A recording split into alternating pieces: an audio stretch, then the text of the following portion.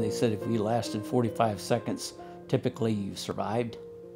You know, the first 45 seconds uh, you got in a firefight.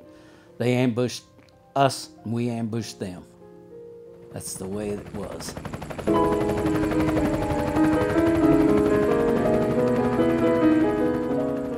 First day out, I actually got a hot meal.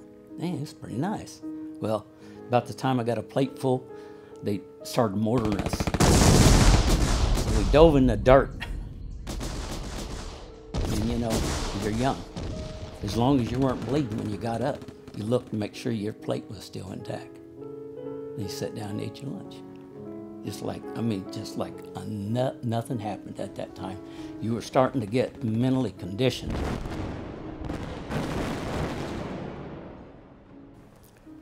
Well, I was like third or fourth man back. They started me there. They started cherries there to see if they can survive. They're expendable.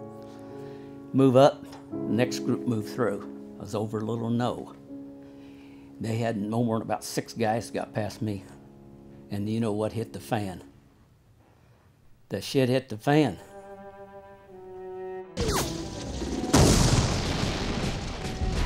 Anyway, they pulled back. Okay, and I can hear them. You know, there's they're dug in. You're not going to get them out of there.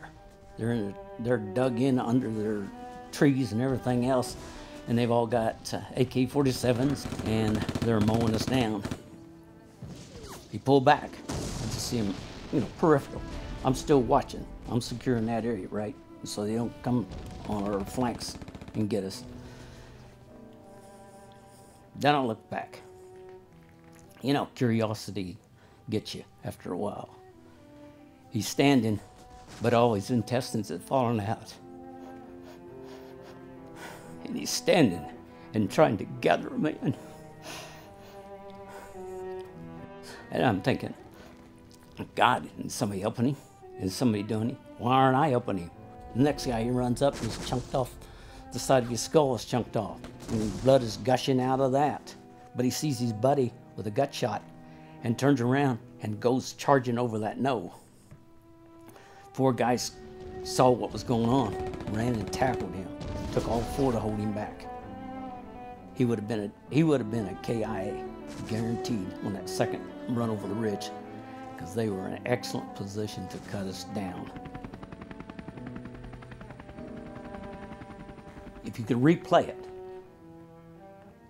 and you were in the lead,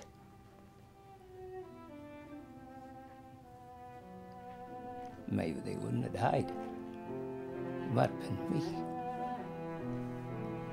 But at that point, you leave combat.